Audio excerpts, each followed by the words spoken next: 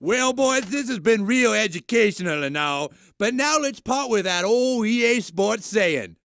Get the fuck out of my building. Before I go, I'd like to leave you with that good old EA Sports saying get it. No, I can't do that. It's in the game. Please welcome to the stage my friend.